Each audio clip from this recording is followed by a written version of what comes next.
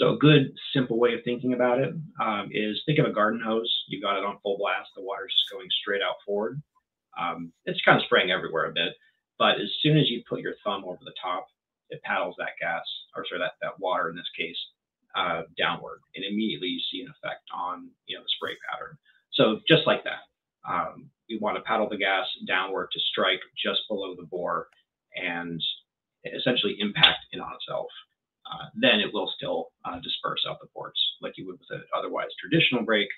Um, but you'll notice they're slotted so that that um, the gas dispersion isn't just think of the ports like a microphone. Uh, that's why why you get the criticism sometimes that muzzle brakes can be loud, quote unquote, or concussive. Uh, but in this case, the the ports um, actually kind of dither the gas, uh, not just outward laterally to the side, but also a little bit forward as well. So that's why you get a bit less concussion um, not just recoil reduction. Okay, so it, it kind of works as like a, a linear compensator as well.